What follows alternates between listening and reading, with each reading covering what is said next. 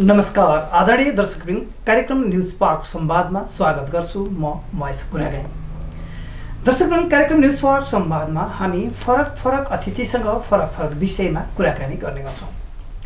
यसै क्रममा आज हामीले हामीसँग बिपी कोइराला स्वास्थ्य विज्ञान प्रतिष्ठान धरानका जोड्ने विभागका प्रमुख प्राध्यापक डाक्टर पशुपति चौधरी हुनुहुन्छ। उहाँसँगको यो बसाइमा हामी हाड जोड्ने रोगको विषय तथा प्रतिष्ठानका पछिल्ला गतिविधिका विषयमा कुराकानी गर्नेछौँ। स्वागत छ डाक्टर साहब यहाँलाई कार्यक्रममा धन्यवाद महेशजी। तपाईँ अहिले भर्खरै मात्रै पनि एउटा अवार्डबाट पुरस्कृत हुनुभएको छ सम्मानित हुनुभएको छ। हजुर। कस्तो लागिरहेछ? न यस्तो महेशजी। काम गर्दै जाँदाखेरि एवार्ड पाइन्छ भनेर काम गर्ने होइन। तर के छ भन्दाखेरि एवार्डले मान्छेलाई प्रोत्साहन दिन्छ होइन? र अझै आफ्नो क्षेत्रमा आफ्नो काममा चाहिँ अझै राम्रो किसिमले अझै त्योभन्दा राम्रो हिसाबले काम गर्न जाओस् भन्ने एउटा प्रेरणा चाहिँ अवश्य दिन्छ यसले। तर एवार्ड एउटा यस्तो चिज हो जुन चाहिँ कहिले पनि कुनै पनि व्यक्तिले आफ्नो फिल्डमा म एवार्ड पाउँछु र त्यही हिसाबले म काम गर्छु भनेर सोच्या हुँदैन। एवार्डहरू कुनै पनि it is not the primary goal होइन? यो कस्तो हो भन्दाखेरि it is the by product of your good work तपाईँले राम्रो काम गर्दै जानुभयो भने एवार्ड पाए पनि नपाए पनि त्यसले खासै फरक राख्दैन तर एवार्डले एउटा हौसला चाहिँ प्रदान गर्दछ। अब यहाँलाई यस अघि पनि राष्ट्रपतिबाट यहाँले सुप्रबल जनसेवाश्री पदक प्राप्त गरिसक्नु भएको छ र अहिले पनि फेरि पछिल्लो समय नेसनल प्रोफेसनल एचिभमेन्ट अवार्ड प्राप्त गर्नुभएको छ। यहाँले भने जस्तै काम गर्दाखेरि अवार्डको अपेक्षा वा सम्मानको अपेक्षा भन्दा पनि कामले त्यो अवार्डलाई निम्ताउने पक्कै पनि हो। तथापि पनि कामलाई यसले जुन तरिकाले गरिराखिएको छ त्यो काममा एउटा थप ऊर्जा चाहिँ कति प्रदान गर्ला? अनि अवश्य यसले ऊर्जा प्रदान गर्दछ। एवार्ड पाइसकेपछि त्यो एवार्डको जस्टिफिकेसन पनि सम्बन्धित व्यक्तिले गर्न सक्नुपर्छ होइन? अब मैले सरकारबाट अथवा अन्य गैर सरकारी संस्थाहरूबाट एवार्ड पाउने सँगसँगै सबभन्दा ठुलो एवार्ड के हो भन्दाखेरि मैले जुन फिल्डमा आफूलाई उभ्याएको छु जुन फिल्डमा मैले आफूलाई काम लगाएको छु र काम गर्दैछु त्यो फिल्डमा मलाई कतिको सेटिस्फ्याक्सन रहन्छ त्यो फिल्डप्रति मैले जस्टिफिकेट जस्टिफाइड गरेको छ कि छैन? उदाहरणको लागि मैले जुन चाहिँ एउटा चिकित्सा पेसालाई अँगालेको छु र चिकित्सा पेसा भनेको मानवीय संवेदना र मानवीय सेवासँग सम्बन्धित पेसा भएको हुनाले अ, दिनहुँ मैले मान्छे अथवा मानव अथवा व्यक्तिहरूसँग मैले अब संवाद गर्नुपर्ने हुन्छ र उनीहरूसँग डिल गर्नुपर्ने हुन्छ। र त्यही डिल गर्ने क्रममा विभिन्न किसिमको मानवीय संवेदनाहरूसँग पनि हामीले जुझिरहेका हुन्छौँ। होइन?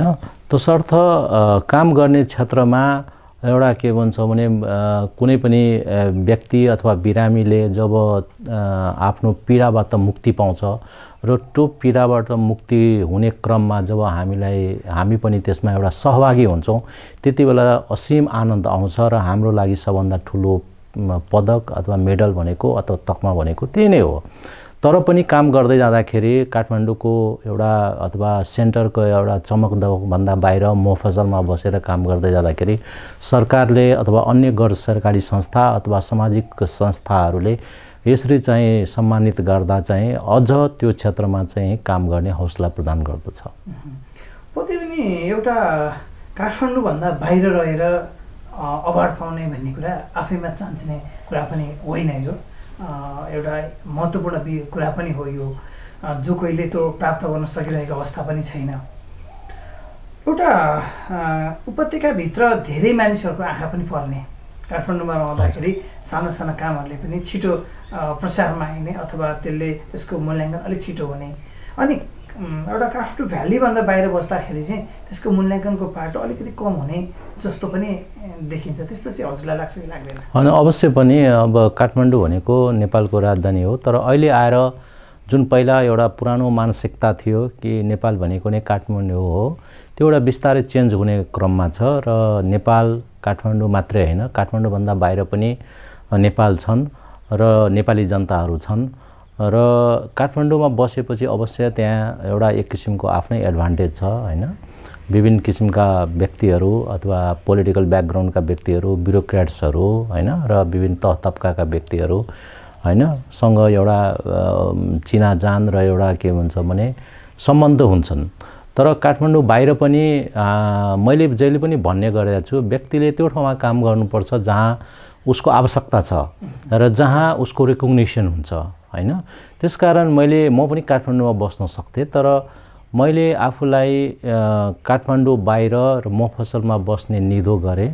किन भन्दाखेरि मैले काठमाडौँभन्दा बाहिर जुन किसिमको एउटा स्वास्थ्य क्षेत्रमा विभिन्न किसिमको विषमता छ र पेरिफेरीका मान्छेहरूले जुन किसिमको स्वास्थ्य सेवामा उनीहरूको पहुँच हुनुपर्ने हो त्यो किसिमको पहुँच नहुँदाखेरि उहाँहरू चाहिँ बाहिर विदेश बाहिर इन्डियाको विभिन्न ठाउँहरूमा जानुपर्ने आवश्यकता बाध्यता थियो। होइन? अहिले आएर हामीले यहाँ चाहिँ त्यो किसिमको पलायनलाई रोक्न समर्थ भएका छौँ। र नेपाली जनताले सुलभ र सस्तो किसिमले र क्वालिटी एउटा गुणस्तरीय स्वास्थ्य सेवा चाहिँ आफ्नै ठाउँमा पाउन चाहिँ उनीहरू सम्भव भएको हो। त्यसकारण मुफसलमा बसेर काम गर्नु आफै एउटा चुनौतीपूर्ण भए पनि यसले चाहिँ देशका पेरिफेरीमा अथवा कुना काप्चामा र रिमोट ठाउँमा अथवा चाहिँ दुर्गम ठाउँमा भनौँ अथवा गाउँघरतिरका व्यक्तिहरू जसको स्वास्थ्य सेवामा सहज पहुँच छैन तिनीहरूको लागि एउटा चाहिँ राम्रो सेवा गर्न पाउँछु। र गर्नुपर्छ भन्ने उद्देश्यका साथ म के भन्छ काठमाडौँ भन्दा बाहिर आएर काम गर्न थालेँ। यसरी तपाईँले एउटा अत्यन्तै महान सोचका साथ एउटा काठमाडौँभन्दा बाहिर बसेर जसरी काम सेवा दिइराख्नु भएको छ अनवरत रूपबाट यहाँ हजारौँ दैनिक चाहिँ बिमारीहरू तपाईँले केही नाम लिएर तपाईँसँग खोज्दै भनेर आइरहेका हुन्छन्। यत्रो एउटा विश्वास पनि तपाईँले यहाँ बिमारीहरूको आम मासमा एउटा जनमासमा चाहिँ एउटा छाप दिन सक्नु भएको छ त्यो तपाईँको कामकै प्रतिफल हो। कहिलेकाहीँ तपाईँलाई चाहिँ आफै लाग्दैन। म वास्तवमा गलत गरेँ। म बाहिर बसेर चाहिँ बेठेकै गरेँ कि मेरो डिसिजन गलत थियो चाहिँ लाग्छ कि लाग्दैन? अनि यस्तो हो यसमा चाहिँ मैले सुरुदेखि नै मेरो प्यारेन्ट्सको लाल लालन पोषण र मेरो जुन किसिमको हुर्काइ थियो त्यो बेलादेखि नै मैले एउटा चिकित्सा पेसामा लागेर के भन्छ भने आफ्नो समाजमा र आफ्नो वरिपरिमा जुन किसिमको मैले स्वास्थ्य सम्बन्धी समस्याहरू देखेँ। त्यसले मेरो मानसपटलमा पहिलादेखि नै म डक्टर भयो भने यो किसिमको समस्याहरूको म समाधान गर्न चाहिँ अथवा सेवा दिन चाहिँ म तत्पर हुन्छु भने मेरो त्यति बेलाको के भन्छ युवावस्थाको मानसपटलमा त्यो पर्या हो। त्यसकारण त्यसमा पछुतो केही पनि छैन तर मफसलमा बसेर काम गर्नु आफै एउटा चुनौतीपूर्ण हो होइन? हामीले के गर्नु के एउटा कुरा बुझ्नुपर्छ भन्दाखेरि काम गर्दै जाँदाखेरि अथवा काम गर्ने क्रममा विभिन्न किसिमका चुनौतीहरू आउँछन् र स्पेसली त्यो ठाउँमा जुन ठाउँमा सेवा सुविधाहरूको अत्यन्त अभाव हुन्छ होइन? अहिले बिपी कोराला स्वास्थ्य विज्ञान प्रतिष्ठानमा मैले काम गर्न थालेदेखि एउटा मान्छेको जीवनमा भनिन्छ सक्सेस र फेलर एक दिनमा आउँदैन। र सबैको आफ्नै आफ्नै स्टोरी हुन्छ। एउटा कुरा के छ भने बिना हार्डवर्कको कुनै पनि कुराहरू सम्भव छैन। There is no alternative for hard work होइन? र भनिन्छ the only place where the talent beats hard work is in dictionary होइन? डिक्सनरी मात्रै।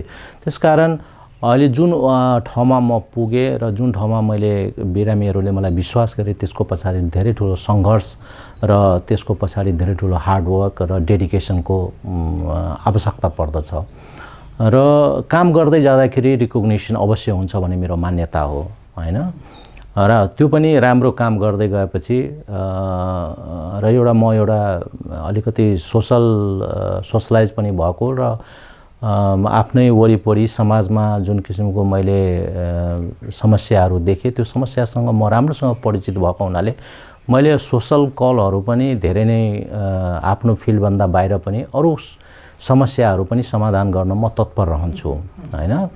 त्यसर्थ यसरी काम गर्दै जाँदाखेरि रिकग्नेसन चाहिँ हुन्छ र रिकग्नेसन एउटा समय सँगसँगै हुन्छ। एक दिनमा रिकग्नेसन हुँदैन होइन?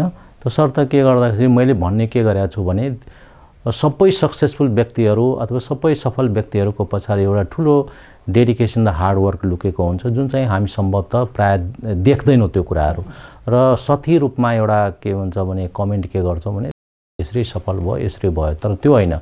फेल र सक्सेस एक दिनमा आउँदैन र त्यसको लागि समयसँगै र ठुलो त्याग तपस्याको आवश्यकता पर्दछ।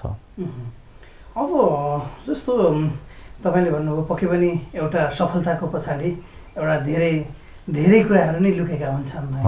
मान्छेले हेर्दाखेरि झट्ट हेर्दा एउटा सफलतालाई मात्रै मूल्याङ्कन गरिरहेको हुन्छ।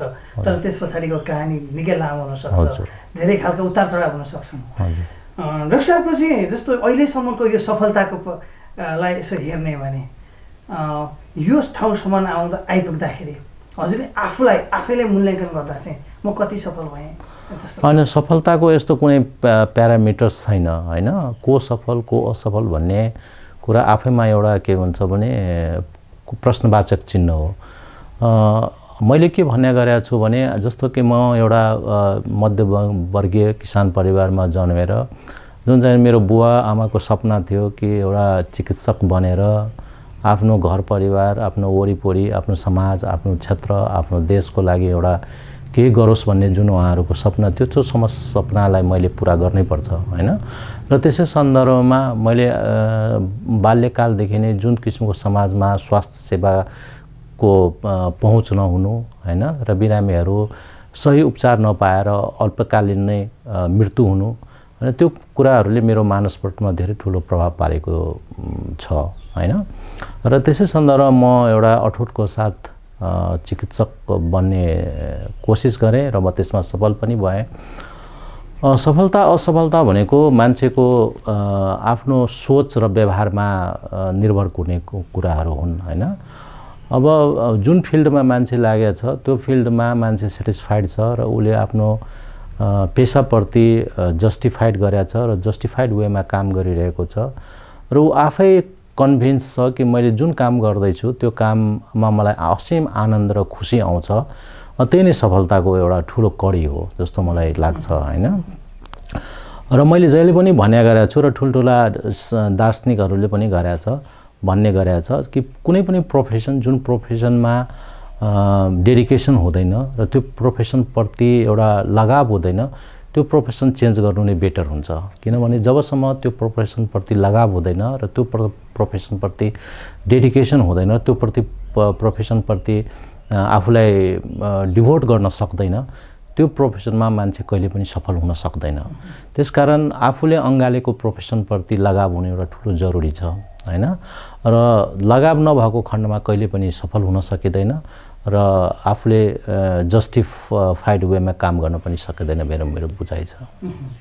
अब जस्तो अलिकति एउटा यसैमा कुरा गर्दाखेरि सफलतासँगको पनि कुरा गर्दाखेरि एउटा अहिलेसम्मको जुन एउटा डाक्टर साहबले एउटा आफ्नो जुन लगाव होइन एउटा यो पेसाप्रतिको चाहिँ निरन्तरको एउटा आफ्नो लगावको कारणले पनि एउटा अगाडि बढ्न जस्तै सहज गरिरहेको छ। के देख्नुहुन्छ?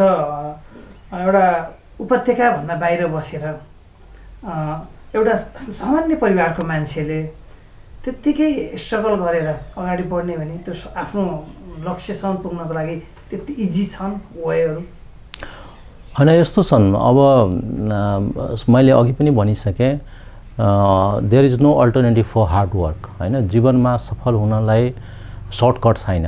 र सर्टकटबाट क्षणिक सफलताले मान्छेलाई क्षणिक रूपमै विलिन गराउँछन् होइन? त्यसकारण सफल हुनलाई अथवा आफ्नो पेसामा म भन्ने गर्दछु आफ्नो पेसामा आफूलाई सही ठाउँमा उभ्याउनलाई धेरै हार्डवर्कको के भन्छौँ अल्टरनेटिभ छैन। तसर्थ यो हार्डवर्क भनेको फेरि यस्तो कुरा हो जुन चाहिँ एक दिनमा हुने कुरा होइन। तपाईँको मैले पहिला पनि भने गरेको छु कि success doesn't come in a single day होइन? मान्छेको जीवनमा अकुमुलेट हुँदै गएपछि एक दिनमा सफल हुने हो होइन? एउटा एउटा थपिँदै गएपछि सफल हुने हो। त्यस्तै फेलर पनि doesn't come in a single day मान्छेको जीवनमा मल्टिपल इन्सल्टहरू हुँदै गयो भने एक दिनमा ऊ सफल असफल देखिने हो। त्यसकारण हार्डवर्क भनेको एक दिनमा म मेहनत गरेर अथवा एक दिनमा म रातारात सफल हुन्छु भन्ने कुरा होइन होइन? त्यसकारण यसको लागि चाहिँ महिनौँ वर्षौँको त्याग र तपस्या चाहिन्छ होइन? र सबभन्दा ठुलो कुरा के हो भन्दाखेरि के उद्देश्यको लागि हामी काम गर्दैछौँ होइन? हाम्रो अल्टिमेट उद्देश्य र हाम्रो गोल के हो त होइन? जस्तो कि मैले चिकित्सक पेसामा लागेको छु र चिकित्सा क्षेत्रसँग सम्बन्धित छु मेरो जीवनको उद्देश्य के हो त होइन? धेरै मान्छेहरू चिकित्सक पेसा भएर पनि होइन आफ्नो गोलबाट आफ्नो मिसन र आफ्नो भिजनबाट डेबिट भएको देखिन्छ। जस्तै कि अब मनिटरी कुराहरू हुन्छ होइन? त्यसकारण म जहिले पनि मेरो बुझाइ के छ भने money is the by product of your good clinical work भन्दाखेरि पैसा तपाईँले राम्रो काम गरेको बाई प्रडक्ट हुनुपर्छ। Prime money should not be your primary goal तपाईँ पैसाको पछाडि कुद्नुभयो भने पैसा तपाईँबाट धेरै टाढा जान्दछ होइन? त्यसकारण हामी हामी के भन्छौँ भने जस्तो हामी लुडो खेल्छौँ होइन? लुडोमा एउटा ल्याडर हुन्छ होइन? एउटा सिडी हुन्छ र एउटा स्नेक हुन्छ। स्नेकले हामीलाई तल लिएर जान्छ होइन? तल बोटममा पुर्याउँछ होइन? सिँढीले हामीलाई माथि लग्छ र हामी विजय हुन्छौँ। त सिँढी के हो त? हाम्रो जीवनको सिँढीहरू के के हुन्? त्यो सिँढीहरू भनेको dedication to our to our profession होइन? त्यसपछि हार्डवर्क डेडिकेसन होइन अनि इन्टिग्रिटी होइन अनि त्यसपछि अनेस्टी यी कुराहरू चाहिँ ल्याडर हुन्। अब स्नेक के के हुन्? स्नेक भनेको ग्रिड होइन लोभीपना हुनु होइन अनि त्यसपछि गलत काम गर्नु होइन अनि त्यस सँगसँगै प्रोफेसनप्रति लोयल्टी नहुनु डिसअनेस्टी हुनु होइन यी कुराहरू स्नेक्सहरू हुन् जसले हाम्रो हामीलाई हाम्रो जीवनमा चाहिँ तल धकेल्ने काम गर्दछ। त्यसकारण सफल र असफलताको कुराभन्दा पनि हामीले आफ्नो प्रोफेसनमा र आफ्नो जीवनमा चाहिँ यस्ता कुराहरूलाई अँगाल्दै जानुपर्छ जसले हामीलाई माथि पुर्याउँछ ल्याडर सँगसँगै र त्यो कुराहरूलाई छोड्नुपर्छ जसले हामीलाई स्नेक जस्तै अथवा सर्प जस्तै जस्तो लुडोको गेममा हुन्छ।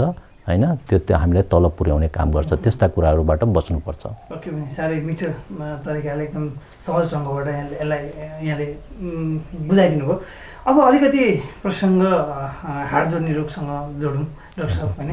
अब हजुरले अब एउटा चाहिँ सेवा दिनुभएको अब यसको विशेषज्ञता हासिल गरेर सेवा दिइराख्नु भयो एउटा लामो समय बितिसकेको छ।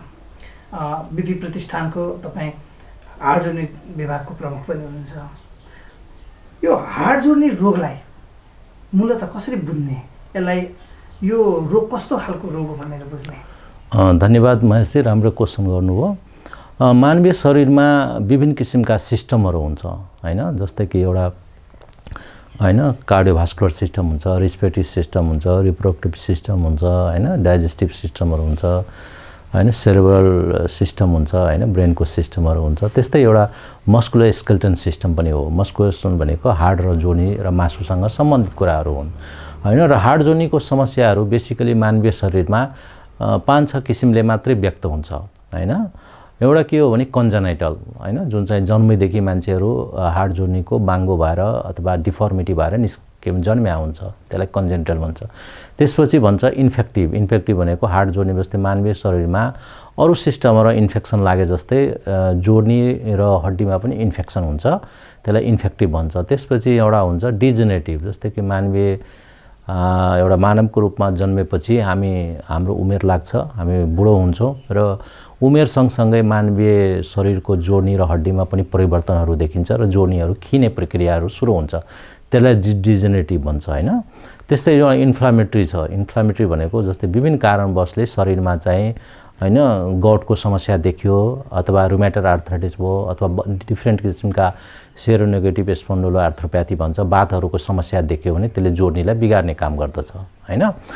त्यसपछि अर्को किसिमको न्यू प्लास्टिक न्यू प्लास्टिक भनेको क्यान्सर जस्तै शरीरको अरू भागमा अरू सिस्टममा क्यान्सर भयो जस्तै हाड र जोड्नीमा पनि क्यान्सर देखिन्छ होइन? र त्यो क्यान्सरहरू पनि विभिन्न किसिमको हुन्छन् र त्यसले पनि जोड्नीलाई बिगार्ने काम गर्दछ।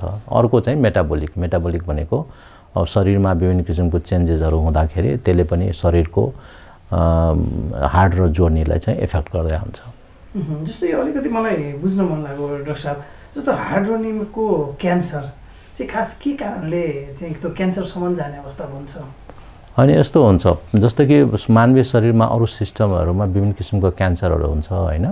त्यस्तै हड्डी र जोड्नीमा पनि क्यान्सर हुन्छ होइन? त्यो पनि डिफ्रेन्ट टाइप्सको हुन्छ। डिफ्रेन्ट टाइप्सको भन्दाखेरि त्यहाँ दुई किसिमको बेसिकली हुन्छ होइन? एउटा त त्यही हाड र जोड्नीबाट उत्पन्न हुने र अर्को चाहिँ अरू ठाउँको क्यान्सर चाहिँ हार्ट जोडीमा सर्ने। त्यसलाई सेकेन्डरिज भन्छ होइन? जस्तो लङ्सको क्यान्सर भयो लिभरको क्यान्सर भयो अथवा स्टोमाकको क्यान्सर भयो त्यो क्यान्सरहरू चाहिँ फैलिएर अथवा रगतको माध्यमबाट हार्ट र जोडीमा जानु होइन? अथवा भट्रिवा अथवा स्पाइनल कोडको हड्डीमा जानु त्यसलाई भन्छ सेकेन्डरिज। प्राइमरी भनेको हार्ट र जोडनीबाट ओरिजिनेट हुनु होइन? त्यो पनि दुई किसिमको हुन्छ एउटा बेनाइन हुन्छ। र एउटा म्यालिग्नेन्ट हुन्छ। बेनाइन भनेको साधारण किसिमको जस्तो सिस्ट भयो बोनमा पनि विभिन्न किसिमको सिस्टहरू हुन्छ। सिम्पल बोन सिस्ट हुन्छ एनरोजमेन्ट बोन सिस्टहरू हुन्छ। अनि त्यसपछि अर्को हुन्छ म्यालिग्नेन्ट म्यालिग्नेन्ट भनेको अब के भन्छ भने अलिकति डरलाग्दो क्यान्सर। जसले के भन्छ मान्छेको जीवनलाई नै धरापमा पार्दछ जस्तै वेस्टो सार्कोमाहरू हुन्छ होइन? यो रोगहरू कोन्ड्रो सार्कोमाहरू हुन्छ। यिनीहरूले जोर्नीलाई चाहिँ बिगार्नेको साथसाथै मान्छेको जीवनलाई पनि के भन्छ भने खतरामा पार्दछ। यो जस्तो हार्डोनीमा हुने एउटा प्राइमेरी खालकै क्यान्सरको कुरा गरौँ अलिकति होइन? यो क्यान्सरबाट सङ्क्रमितहरूको सङ्ख्या जस्तो नेपालकै कुरा गर्ने भने कस्तो देखिन्छ?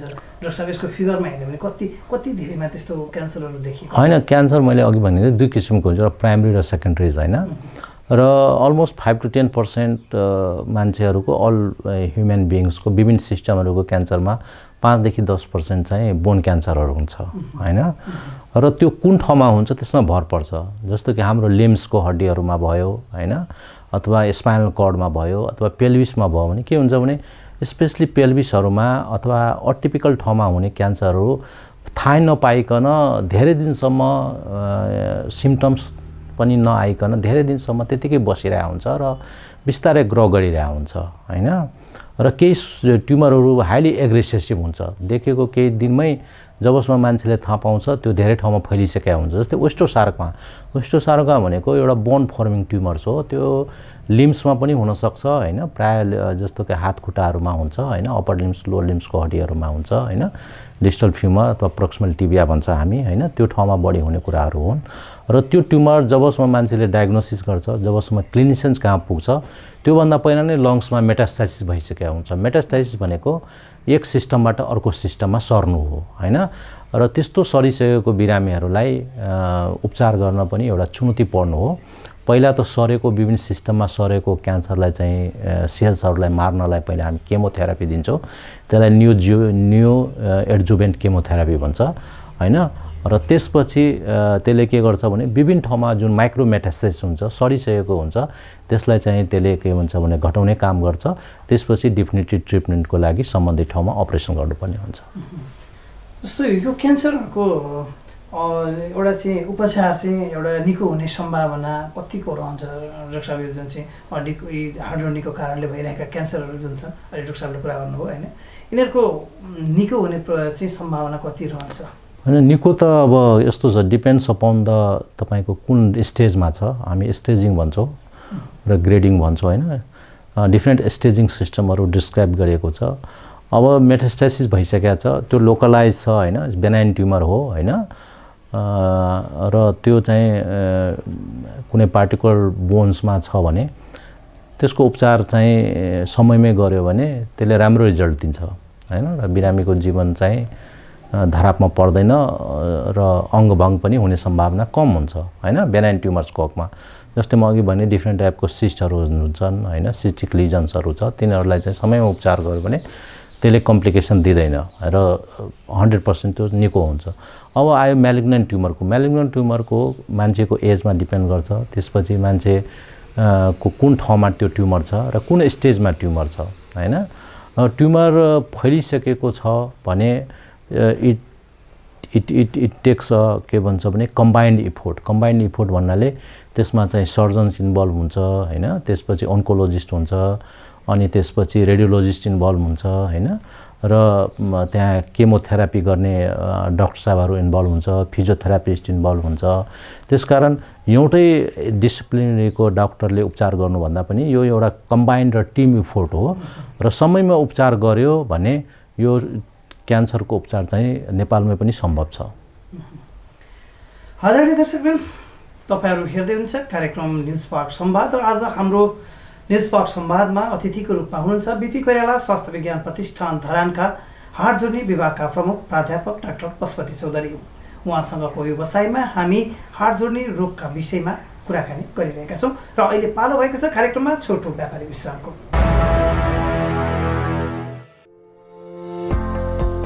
न मागेर पाइन्छ न खोजेर पाइन्छ। स्वरोजगार बन्न सिप नै चाहिन्छ। नेपाल सरकार तथा सिटिभिटीबाट सम्बन्धन प्राप्त।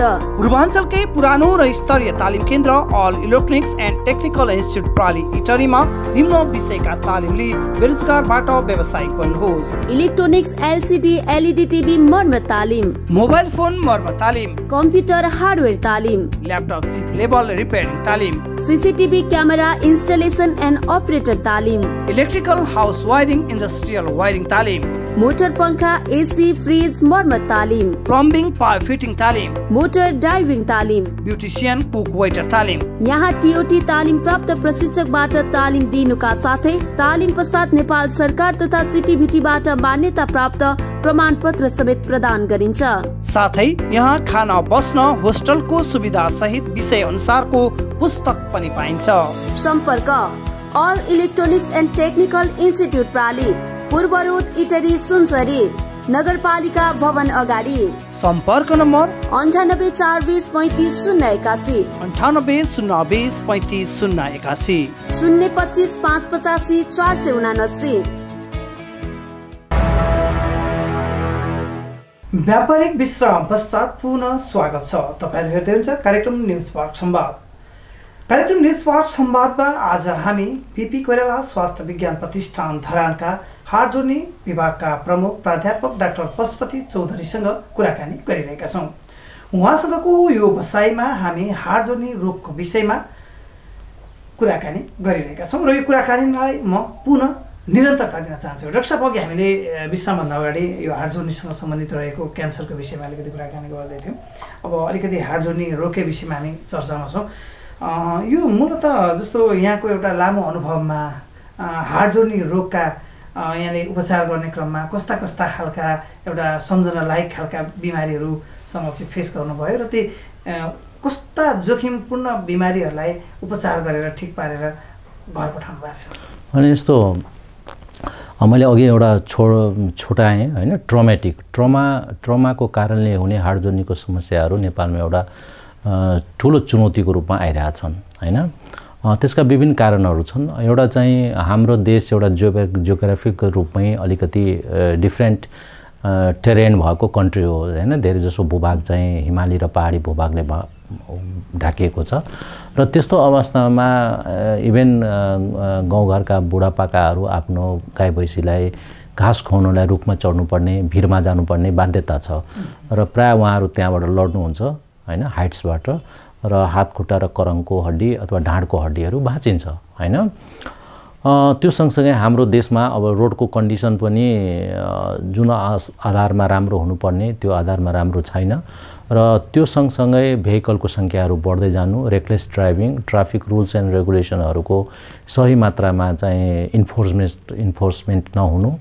र मादक पदार्थ सेवनले पनि रोड ट्राफिकको गर्दा हाड जोड्नेको समस्याहरू बढ्दै गइरहेको छ। प्रायः यस्तो कुनै दिन हुँदैन जुन चाहिँ तपाईँलाई एक्सिडेन्ट भएर मान्छेहरू हस्पिटलमा आउँदैनन् होइन? अब यसै सँगसँगै मै मैले मैले अब यही सर्जरी यही उपचारले बिरामी निको भयो भन्ने होइन होइन? हामी दिनहुँ के भन्छ भने विभिन्न किसिमका रोगसँग र विभिन्न किसिमका समस्याहरूसँग हामी जुझि जुझिरहेका हुन्छौँ होइन? सबै बिरामीहरूको आफ्नै आफ्नै समस्या हुन्छ आफ्नै आफ्नै पीडा हुन्छ होइन? र यसै सन्दर्भमा त्यति बेला हामीलाई असीम आनन्द र खुसी हुन्छ जब एउटा ढाड भाँचिएको बिरामी करङ भाँचिएको बिरामी हिँड्न नसक्ने अवस्थामा पुगेको बिरामी टिबीको कारणले इन्फेक्सनको कारणले प्याराप्लेजिया अथवा दुइटै हात खुट्टा नचल्ने बिरामीलाई जब हामी हिँड्न सक्षम बनाउँछौँ त्यति बेला हामीलाई असीम आनन्द हुन्छ। र मैले के भन्छु भने रेस्पेक्ट भनेको र एक दिनमा आउने कुरा हुँदैन होइन? काम गर्दै जाँदाखेरि मैले अनुभव गरेको इभेन सत्तर असी वर्षको बुढाबुढी पनि आएर हुन्छ जब खुट्टा छुन खोज्छ त्यति बेला मलाई चाहिँ एक किसिमको अक्वार्ड एक किसिमको के भन्छ भने नरमाइलो सँगसँगै एउटा मनमा मैले केही राम्रो गरेको छु भन्ने अनुभूति हुन्छ होइन?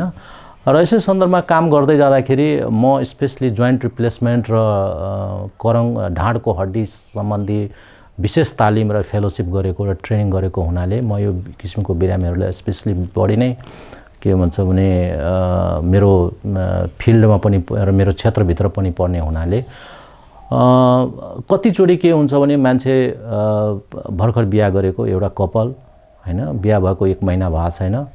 र मोटरसाइकलमा जाँदै गर्दाखेरि केटाको चाहिँ एक्सटेन्ड भएर करङको हड्डी भाँचिन्छ अथवा ढाँडको हड्डी भाँचिन्छ र ऊ प्याराप्लेजिक हुन्छ। ऊ चाहिँ दिसा पिसाब गर्न सक्ने अवस्थामा हुँदैन कन्ट्रोल गर्न सक्दैन र उसको दुइटै खुट्टा नचल्ने अवस्था हुन्छ।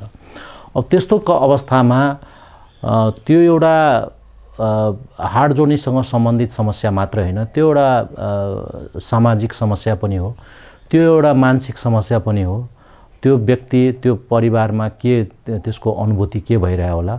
र त्यस्ता बिरामीहरूलाई पहिलेको कन्डिसनमा हिडडुल गर्ने एटलिस्ट उसलाई चाहिँ आफ्नो दैनिकी जीवनयापन गर्ने कन्डिसनमा पुर्याउनु हाम्रो लागि ठुलो चुनौती हो र जब हामी त्यो अवस्थामा पुर्याउँछौँ त्यति बेला असीम आनन्द हुन्छ र त्यो बिरामीमा नि हामी अपरेसन गरेर त्यो बिरामी अलमोस्ट के भन्छ आफ्नो दैनिकी काम गर्न सक्ने अवस्थामा छ होइन? गरिरहेछन्।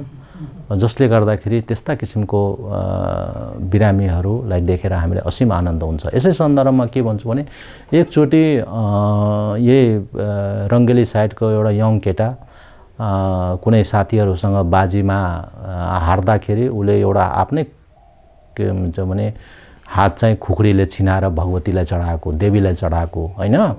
र त्यो उसको परिवारले जब उसलाई यहाँ लिएर आयो होइन उसको रिस्ट जोइन्ट भन्छ होइन नाडीभन्दा तल उसको हात काटेर आएको अवस्था थियो र हामीले लगभग आठ नौ घन्टाको सर्जरी गरेर उसको हात चाहिँ बचाउन सफल भयौँ होइन र अहिले पनि त्यो बिरामी आउँछ मलाई घरिघरि फोन गरिराख्छ र त्यो बिरामीलाई देख्दा मलाई एक किसिमको असीम आनन्द आउँछ। त्यसरी रेक्सप जस्तो यहाँले एउटा जुन एउटा अनुभव गर्नुभएको छ होइन? अत्यन्तै जोखिमपूर्ण खालका बिमारीहरूलाई पनि एउटा ठिक पारेको र पछि अब चाहिँ भेट्न आइरहेका अहिले पनि तपाईँसँग जुन कुरा सम्पर्कमा रहिरहेका कुरा गर्नुभयो। पक्कै पनि एउटा बिमारी को लागि भगवान् भनेकै डक्टरको रूपमा नै हेरिरहेको हुन्छ होइन? एउटा बिमारीले किनभने आफू सब त्यहाँ आउँदै गर्दाखेरि उसले अरू कुरा सोचेको हुँदैन उसले एउटा आफू सम्झेको हुन्छ। डक्टर साहबहरूले त्यस्ता धेरै मान्छेहरूलाई उपचार गरिराख्नु भएको हुन्छ। एउटा चाहिँ कम्तीमा अघि दुर्घटनाको कुरा गर्नुभयो होइन। हाम्रो सडक हाम्रो यहाँको अवस्था सामाजिक अवस्था यी विविध कुराहरूले गर्दाखेरि धेरै खालका कोही लड लडेर भयो कोही दुर्घटनाको कारणले आउने बिमारीहरू हुन्छन् र एउटा कम्तीमा यहाँ आइपुग्दासम्म अन्तिम अन्तिम अवस्थामा आइरहेका हुन्छन्। त्यस्तालाई चाहिँ एउटा राम्रो पारेर पठाएका त्यस्ता केही अनुभवहरू अनि त्यस ती मान्छेहरूले दिएका प्रतिक्रियाहरू अझै थप छन्। अनि यस्तो जस्तो कि मैले अघि पनि भनिसकेँ हामीले जहिले पनि स्पाइन सर्जरी मेरो स्पेसल विधा भएको हुनाले स्पाइन सर्जरी जहिले पनि हार्ट जोड्ने र नसासँग सम्बन्धित भएको हुनाले यो जहिले पनि तलवारको धारमा हामी हिँडिरहेका हुन्छौँ होइन? र जस्तै तपाईँहरूले विभिन्न किसिमका टेलिभिजन कार्यक्रम हेर्नु हेर्नुभयो होला होइन? को भन्छ करोडपति होइन? त्यसमा डिफ्रेन्ट अप्सन्सहरू हुन्छ होइन? You can phone a friend होइन फिफ्टी फिफ्टी अथवा you can take a public opinion तर स्पाइन सर्जरी यस्तो हो जसमा चाहिँ there is no lifeline lifeline हुँदैन। तपाईँले कसैसँग एकचोटि तपाईँलेको बिग्रियो भने इट इज गोन पेसेन्ट कि त क्वाड्रिप्लेजिक हुनसक्छ कि त प्याराप्लेजिक हुनसक्छ। र जहिले पनि कुनै एउटा एक दिनको घटना होइन हामी जहिले पनि स्पाइन सर्जरी गर्दाखेरि जहिले पनि हामीले यही कुराहरूमा के के भन्छ सँग खेलिरहेको हुन्छ र यही कुरामा ध्यान पुर्याउनु जरुरी छ। स्पाइनल कर्डको ट्युमर हुन्छ होइन? अहिले रिसेन्टली हामीले चार पाँचवटा स्पाइनल कर्डको ट्युमर गऱ्यौँ होइन? त्यस्ता ट्युमरहरू जसले मान्छेलाई क्वाड्रिप्लेजिक र प्याराप्लेजिक बनाउन सक्छ र अपरेसन गर्दा पनि मिसएप भयो भने त्यो बिरामी जीवनभरको लागि दुइटै खुट्टा अथवा चारवटै हात खुट्टा नचल्ने बनाउन सक्छ होइन? र सडैको लागि ह्यान्डिक्याप्ट हुनसक्छ ऊ परिवारमा आश्रित हुनसक्छ होइन? र एउटा समाजको लागि एउटा परिवारको लागि एउटा कन्ट्रीको लागि एउटा ठुलो बर्डेन हुनसक्छ त्यसकारण एज अ स्पाइन सर्जरी हामी जहिले पनि तलवारको धाडमै हिँडिरहेको हुन्छौँ। त्यसकारण यही बिरामीमा यस्तो हुन्छ र यही बिरामीहरूमा हुन्छ भन्ने होइन। Per every surgery every patient is itself is a challenge आफैमा बिरामी प्रत्येक बिरामीहरूको प्रेजेन्टेसन प्रत्येक बिरामीहरूको रोगको स्ट्याटस र प्रत्येक बिरामीहरूको रोग हुने समस्याहरू फरक फरक हुन्छन् होइन? त्यसकारण हामी जहिले पनि यी कुराहरूमा ध्यान दिनुपर्छ। त्यो सँगसँगै अब ट्रमेटिक कुराहरूमा जो मैले अघि भनिसकेँ एउटा व्यक्ति जो चाहिँ छटबाट लड्यो होइन उसको ढाड चाहिँ भाँचिएको भाँचिनुको सँगसँगै नसामा पनि चोट पुगेर ऊ प्याराप्लेजिक भयो। दुइटै खुट्टा नचल्ने अवस्थामा दिसा पिसाब बन्द भयो अथवा कन्ट्रोल भएन। त्यो व्यक्तिलाई हामीले अपरेसन गर्दाखेरि अहिले त्यो बिरामी हिडुल गर्न सक्ने अवस्थामा छ। ऊ आफ्नो दैनिकी काम आफै गर्छ मोटरसाइकल चलाउँछ। उसको एउटा मात्रै समस्या के हो भने अलिक बल परेको बेला पिसाब कन्ट्रोल गर्न सक्दैन। र त्यो बिरामी अहिले पनि रेगुलर मेरो फलोअपमा आउने गर्दछन्। त्यस्ता बिरामीहरू आउँदाखेरि हामीलाई असीम आनन्द हुन्छ। र हाम्रो उद्देश्य नै के हुन्छ भने कुनै पनि बिरामी पहिला चोट लागेको अवस्थाभन्दा पहिला कुन अवस्थामा थियो त्यही अवस्थामा सकभर फर्काउने। होइन कोही मान्छे फुटबल खेल्थ्यो र फुटबल खेल्दा खेल्दै उडो घुँडाको हड्डी र नसा चुड्यो होइन? त हाम्रो एम के हुन्छ भन्दाखेरि ऊ पहिला कुन कम्पिटेटिभ प्रोफेसनमा थियो? त्यही प्रोफेसनमा उसलाई फर्काउने। यसरी उपचार गर्नुपर्छ कि त्यसलाई त्यही प्रोफेसनमा फर्काउने त्यही काममा फर्काउने। त्यो यदि सम्भव छैन भने एटलिस्ट उसले आफ्नो जीवनयापनको लागि गर्नुपर्ने जति पनि दैनिकी कामहरू हुन्छन् त्यो काममा चाहिँ उसले आफ्नै सहजता हिसाबले गरोस् भन्ने हाम्रो उद्देश्य हुन्छ। र त्यही उद्देश्यको पूर्तिको लागि हामीले विभिन्न किसिमको अपरेसन र उपचारहरू गर्नुपर्ने हुन्छ। एउटा यो जस्तो हामीसँग नेपालमा त्यसै पनि एउटा स्रोतहरू र साधनहरूको एउटा अभाव छ होइन त्यसमाथि पनि हाम्रो यो ठाउँमा बसेर काम गर्दाखेरि रक्षाहरूले जुन एउटा टेक्नोलोजीलाई एउटा चाहिँ प्रयोग गरेर जुन तरिकाले उपचार गर्न सकिन्थ्यो भन्ने एउटा लाग्दा लाग्दै पनि हामीसँग भएका स्रोत साधनहरूको कमीले काहीँ त्यस्ता उपचारहरू गर्न नसकिने अवस्थाहरू कतिको गर्छ विगत दस वर्षमा यो नेपालका विभिन्न क्षेत्रहरूमा चिकित्सासँग सम्बन्धित विभिन्न विधाहरूमा उल्लेखनीय प्रगति भएको छ होइन? र त्यो सम्बन्धमै कुरा गर्दाखेरि हाड जोड्नेका विभिन्न सब स्पेसलिटीहरूमा पनि धेरै नै उल्लेखनीय प्रगति भएको छ। विगतमा नेपाली जनताहरू यहाँ उपचार सही उपचार नपाएर विदेशिनुपर्ने आवश्य बाध्यता थियो। त्यो अब हटेको छ होइन? त्यसको कारण के हो भने कि नेपाली चिकित्सकहरू पनि अब कम्पिटेन्टहरू भएका छन्। उहाँहरूले विभिन्न ठाउँबाट देश विदेशका विभिन्न ठाउँबाट ट्रेनिङ लिएर आउनुभएको छ र उहाँहरूमा कम्पिटेन्सीको कुनै अभाव छैन। ओन्ली अभाव खड्केको हाम्रो देशमा के हो भन्दाखेरि हामीले जुन पेसमा चाहिँ टेक्नोलोजीलाई अनुसरण गर्दै जानुपर्ने हो इक्विपमेन्ट र इन्स्ट्रुमेन्ट जुन किसिमले हामीले आफूलाई एडभान्समेन्ट गर्दै जानुपर्ने हो त्यसमा हाम्रो कमी छ। तर डक्टरहरूको कार्यक्षमता कार्यकुशलता अनुभव र कम्पिटेन्सीमा अहिले आएर कुनै कमी म देख म चाहिँ देखेको महसुस गरेको छैन। ओके अब यो एउटा आर्जनिक केही कुराहरू गर्दै जाँदाखेरि कतिपय एउटा बच्चाहरू चाहिँ जन्मिँदादेखि नै एउटा एउटा अपाङ्गता भएर पनि जन्मिरहेको अवस्था हुन्छ। कसैको अब शरीरहरू एउटा शरीर उनीहरूको विकाससँगै एउटा चाहिँ नचल्ने कुनै पनि रूपबाट हड्डीहरू दह्रो नभइदिने उभिएर सिधा हुन नसक्ने जस्ता खालका समस्याहरू पनि यावत रूपबाट भएका देखिन्छन्। यताकताहरू त्यस्ता बच्चाहरू पनि जन्मिरहेको हुन्छ यो चाहिँ खास समस्या कस्तो समस्या यो कसरी आउने हो? यस्तो हो विभिन्न त्यसका विभिन्न कारणहरू छन् होइन? त्यसको के हुन्छ बेसिकली तिनवटा कारण हुन्छ। एउटा प्रिनेटल हुन्छ होइन? एउटा नेटल हुन्छ एउटा पोस्ट नेटल हुन्छ होइन? एउटा त प्रिनेटल भनेको जन्मभन्दा पहिला गर्भाशयको अवस्थामा विभिन्न किसिमको कारणले अथवा के भन्छ इन्फेक्सन होस् चाहे पोषणयुक्त खानेकुराको कमी होस् अथवा सनलाइटको एक्सपोजरको कमी होस् अथवा मदरलाई कुनै किसिमको समस्याहरू भयो भने त्यो चाहिँ बिरामी बच्चामा पनि देखिने हो होइन? अनि त्यसपछि पोस्टनेटल जन्मिसकेपछि पनि केही समस्याहरू देखिन्छन् होइन? सबभन्दा बढी भनेको हाम्रो हार्ट जोर्नीसँग यस्तो कन्जेनेटल समस्यामा सिटिबी भन्छ होइन? कन्जेनेटल ट्यालो इको इकोनो भाइरस भन्छ होइन? जस्तो तपाईँले देख्नु होला खुट्टा नै बाङ्गिया हुन्छ होइन? र त्यो कति एडल्ट मान्छेहरूले समाजमा देख्नु होला खुट्टा बाङ्गो भएर हिँडिरहेको हुन्छ। त्यसको के हो भन्दाखेरि बाल्यकाल हुँदाखेरि अथवा जन्मिँदाखेरि त्यो जुन एउटा खुट्टा बाङ्गिने समय समस्या त्यो सिटिइभी भन्छ होइन? त्यो के भन्छ सही रूपमा उपचार त्यसको नहुनु हो। त्यसको सही रूपमा उपचार गऱ्यो भने खुट्टालाई के हुन्छ भने पहिलाकै अवस्थामा फर्काउन सकिन्छ। दोस्रो भनेको बच्चाहरूमा रिकेट्स हुन्छ। रिकेट्स भनेको त्यसको के भन्छ भने मिनरलाइजेसन चाहिँ राम्रोसँग नहुनु हो। होइन? किनभने हड्डीमा पनि विभिन्न किसिमको तत्त्वहरूले बन्या हुन्छ। हड्डी आफैमा डेड कुरा होइन। हेड हड्डी कस्तो हो भने bone is a dynamic living connective tissue भन्छ होइन? ऊ जिउँदो कुरा हो होइन? र विभिन्न तत्त्वले बनिएको हुन्छ। त्यसमा चाहिँ मिनरल्स हुन्छ। त्यो मिनरल्सको कमी भयो भने रिकेट्स हुन्छ। जसले के भन्छ भने जोड्नी र हड्डीलाई बिगार्ने काम गर्छ र हड्डी कमजोर हुन्छ। अब त्यस्तै के भन्छ भने एडल्टमा हुने भनेको त्यसकै काउन्टर पार्ट हुन्छ ओस्टोम्यालेसिया हुन्छ। र अहिले हाम्रो समाजमा मैले इम्फेसिस दिनुपर्ने भनेको ओस्टोपोरोसिस हो होइन? ओस्टोपोरोसिस हाम्रो समाजमा के हुन्छ भन्दाखेरि र हाम्रो शरीरमा हामीले बत्तिस तैँतिस वर्षसम्म आफ्नो बोन स्टक बोनको जुन एउटा घनत्व छ त्यसलाई हामीले बढाउन सक्छौँ। होइन? त्यो चाहिँ सनिक सोजरले होस् चाहे एडिक्वेट डाइटले होस् चाहे पोषणयुक्त खानेकुराले होस् क्याल्सियमयुक्त खानेकुराले होस् होइन? त्यसले हाम्रो बोन स्टोकलाई बत्तिस तैँतिस वर्षसम्म मात्रै बनाउन सक्छ। त्यसपछि हामीले जति खाए पनि त्यसले बोनको डेन्सिटी र बोन स्टकलाई चाहिँ मेन्टेन मात्रै गर्ने काम गर्छ। त्यसले बढाउने काम चाहिँ गर्दैन त्यसपछि।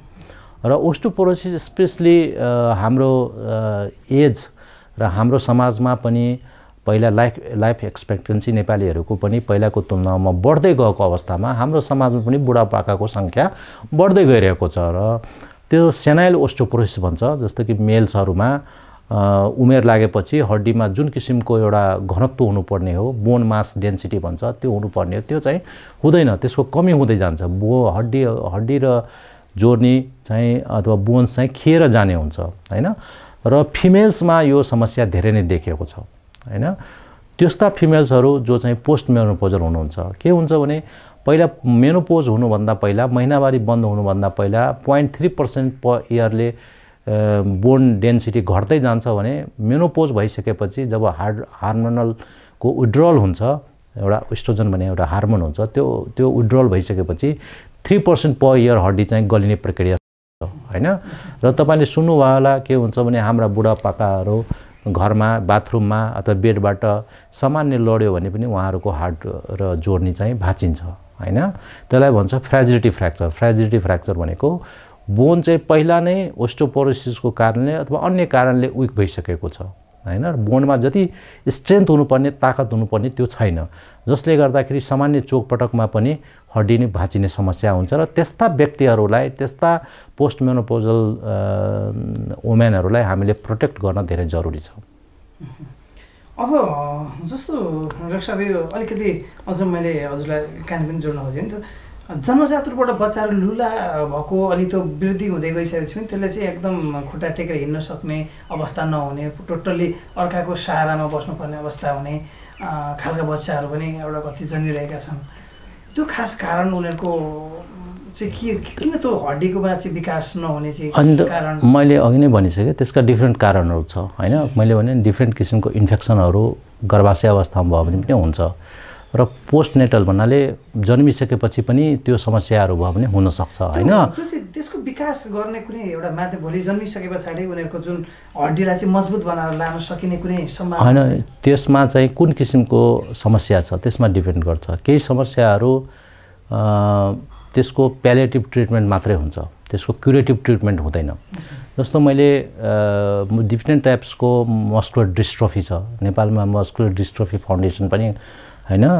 खराब भएको छ। जसले गर्दाखेरि बिन बच्चाहरू जो चाहिँ मस्कुलर डिस्ट्रोफी भनेको एक किसिमको आफैमा एउटा नराम्रो समस्याहरू बच्चाहरूमा जसले उसको मासुमा ताकत हुँदैन होइन? र ताकत नभएपछि उसलाई बस्न उठ्न गाह्रो सास लिन गाह्रो होइन? दिसा पिसाब गर्न गाह्रो हुने समस्या हुन्छन् र त्यस्ता किसिमको बिरामीहरूलाई हामीले अथवा डिफर्मिटीहरू हुनसक्छ।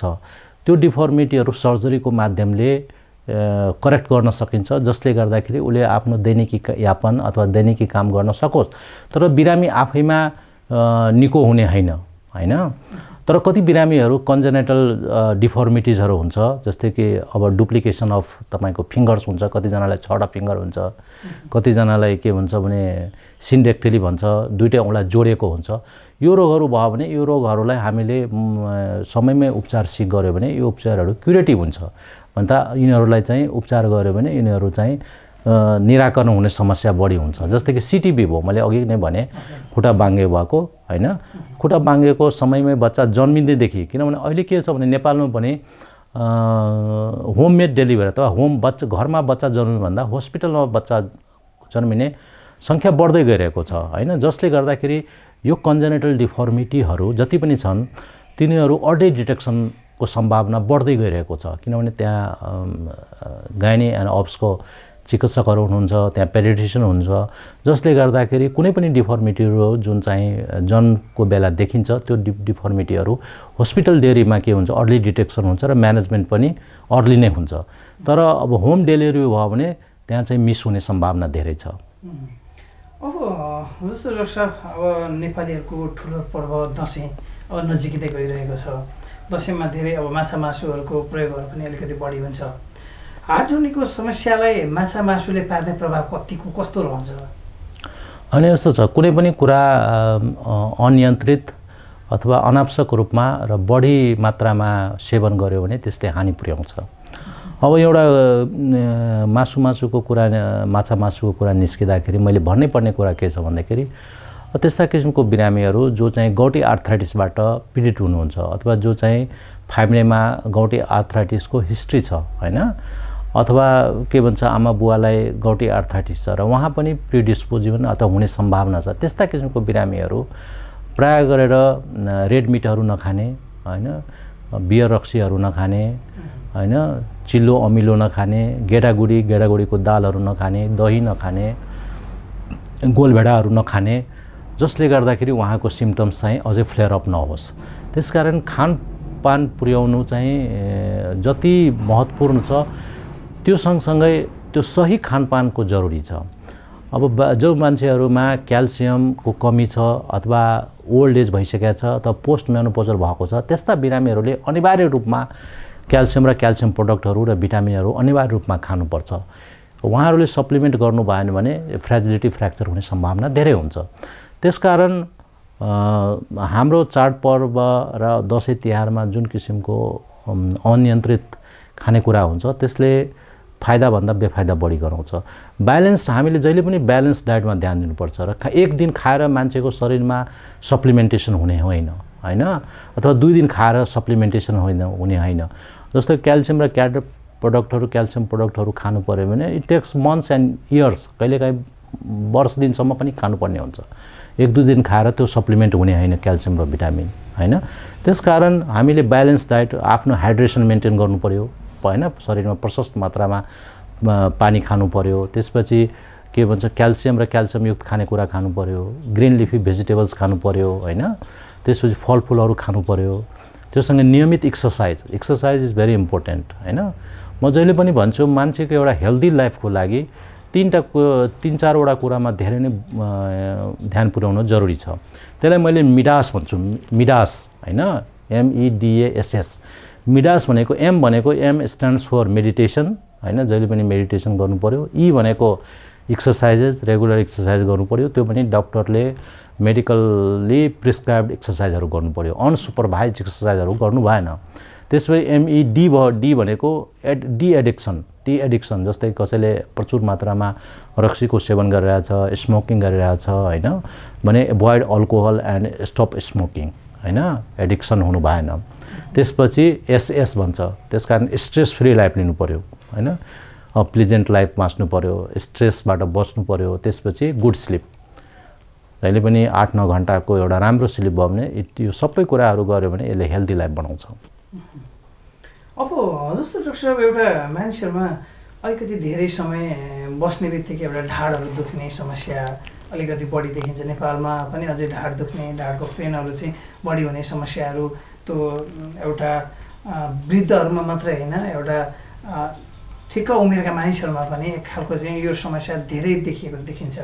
ढाडहरूको चाहिँ समस्या भयो भने यो ढाडको पेन चाहिँ कस के कारणले खास हुने हो? ढाड दुखाइ चाहिँ यो खास के कारणले हुने हो साहब?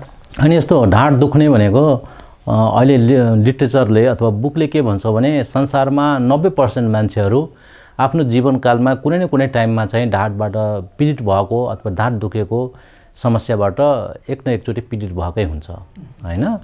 त्यसकारण ढाड दुख्ने विभिन्न कारणहरू हुन्छन् होइन? एउटा के हो भन्दाखेरि एउटै काम चाहिँ धेरै बेरसम्म एउटै पोजिसनमा बसेर गर्नु अथवा धेरै बेर उभिएर गर्नु अथवा भारी वजनहरू आफूले सक्ने भन्दा भारी वजनहरू उठाउनु होइन? र ओबिसिटी पनि यसको कारण हो। त्यो सँगसँगै तपाईँले धुम्रपान होइन? र अल्कोहलको सेवन गर्नु होइन? यो कारणहरूले के भन्छ भने सामान्यत मान्छेहरूलाई ढाड दुख्ने समस्याबाट पीडित बनाउँछ।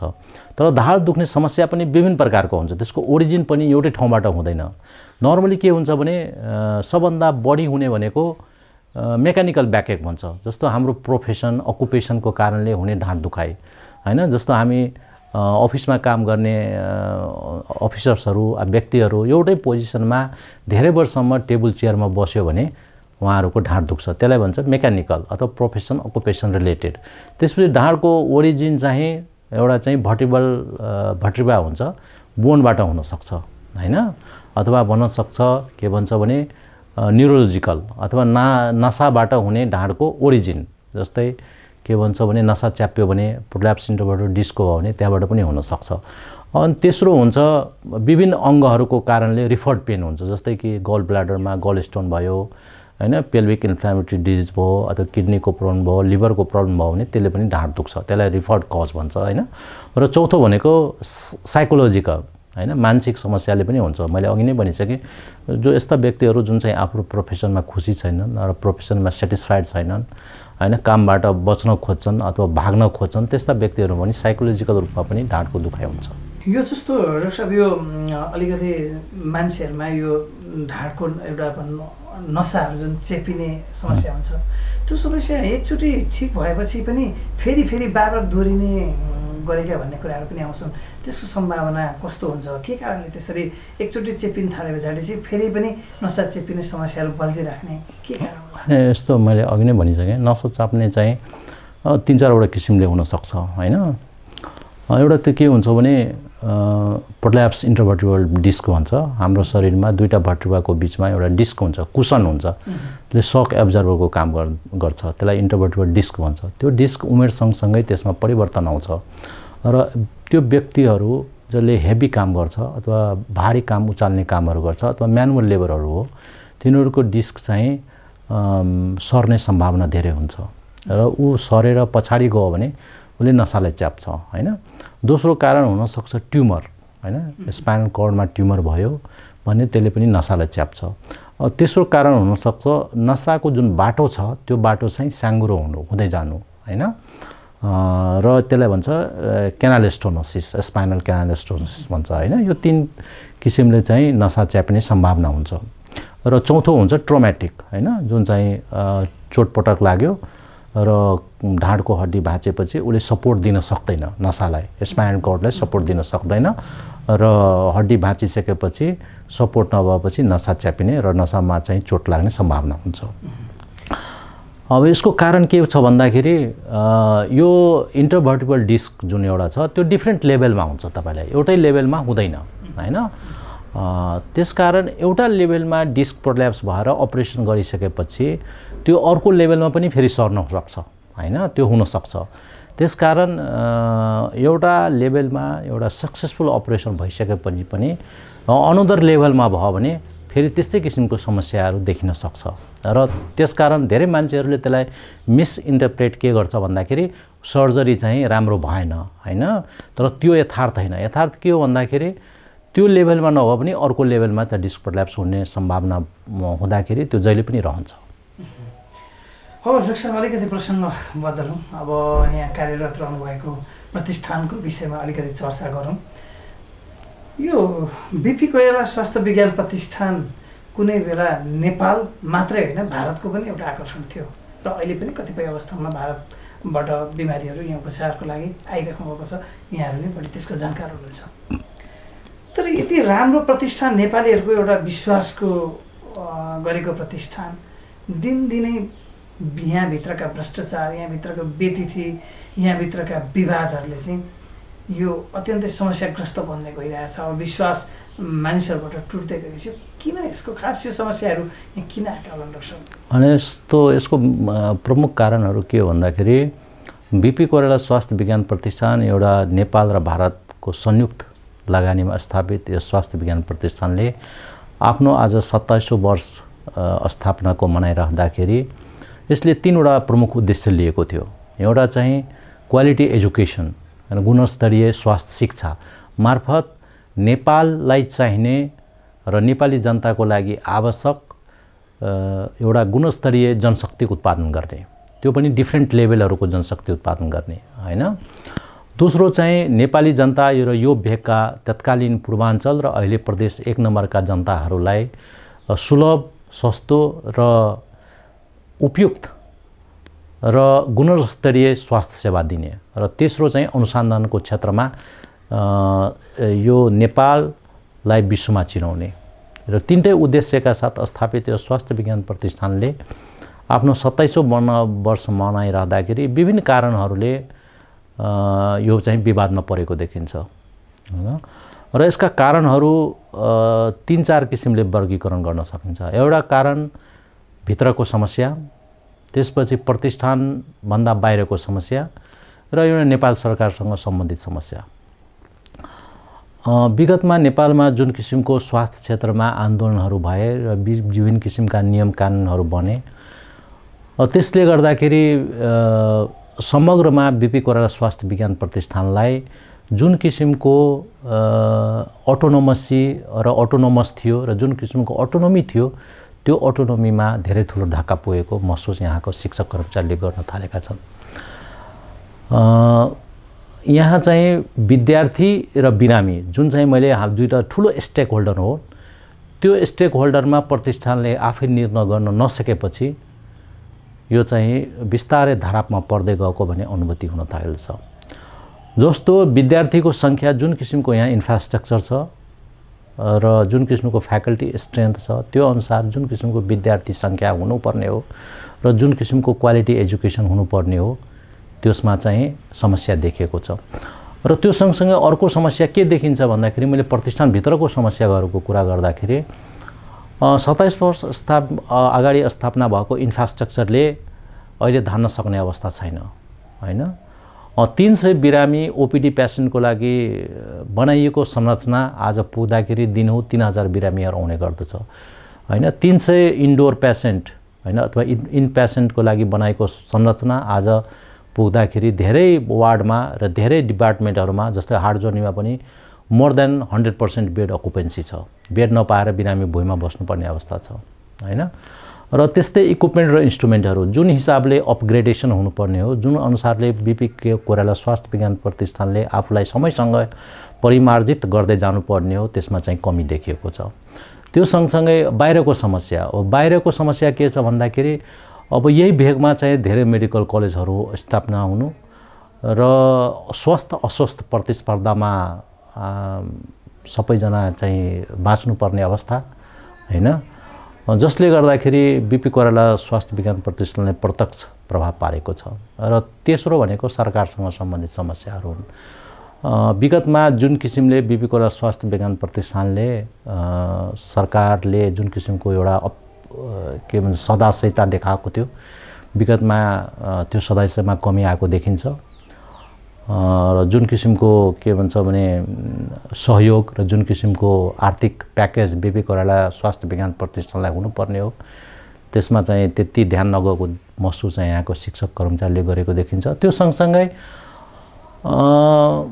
बिपी कोइराला स्वास्थ्य विज्ञान प्रतिष्ठानभित्रका विभिन्न गुटबन्दी होइन राजनीतिक रूपमा विभक्त हुनु गुट गुट बनाउनु र नियुक्ति गर्दाखेरि स्पेसली पदाधिकारी नियुक्ति गर्दाखेरि राम्रा भन्दा पनि हाम्रालाई प्रशय दिने प्रवृत्तिले बिपी कोइराला स्वास्थ्य विज्ञान प्रतिष्ठानलाई धरापमा पारेको छ।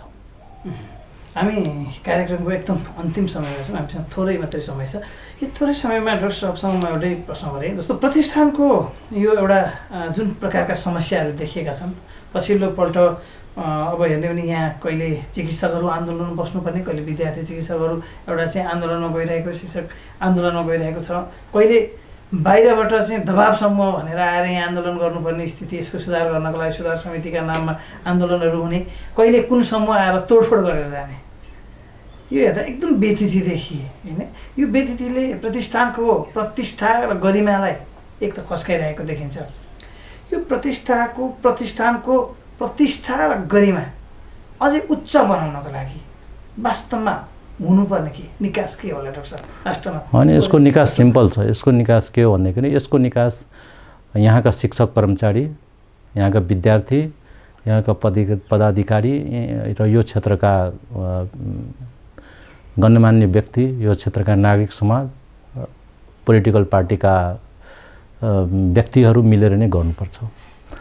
यसको के भन्दा मैले अघि नै भने कुनै पनि संस्था सफल र असफल एक दिनमा हुँदैन होइन?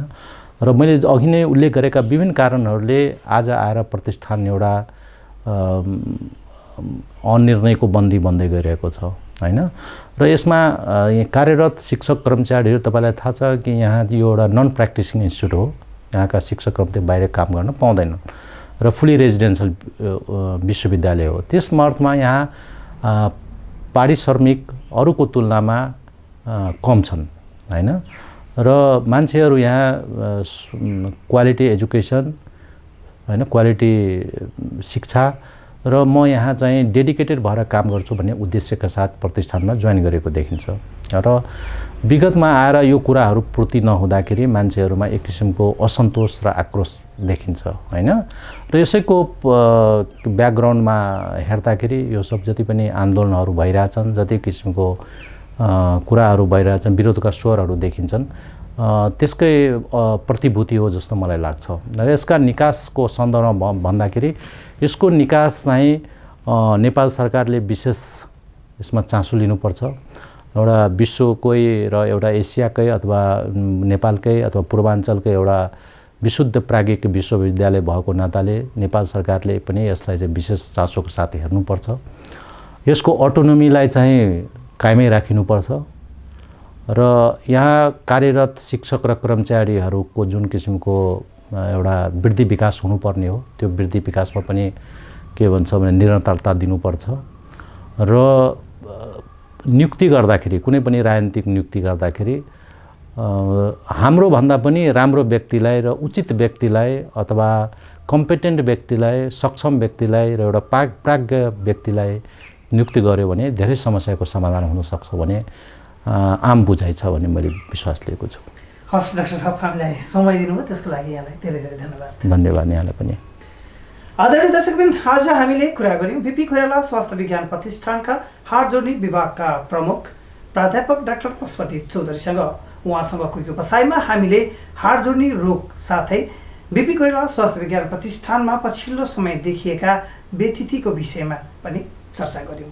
हवस् त अर्को कार्यक्रममा अर्को विशिष्ट अतिथिका साथ फरक सन्दर्भसहित उपस्थित हुने बाचासहित अहिलेको कार्यक्रमबाट बिदा माग्छु।